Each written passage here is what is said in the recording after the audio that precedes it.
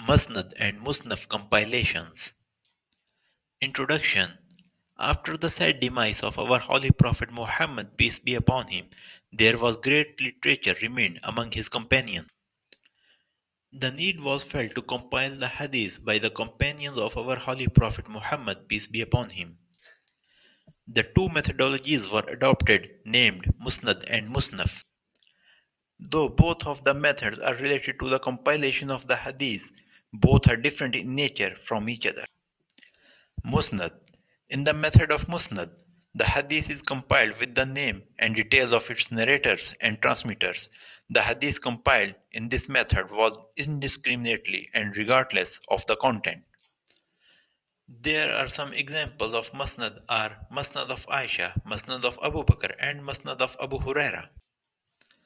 Musnaf As Musnad is regardless of any topic or content of hadith, the Musnaf contains the hadith according to the contents and topics. The placement of hadith is content and topic wise in Musnaf.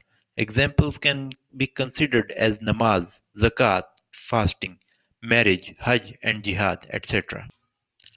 The examples of the compilation of Musnaf are Sihai Sitta named Sahih al-Bukhari, Sahih Muslim, Sunan Nisai, Sunan Tirmizi, Ibn Dawud and Ibn Majah.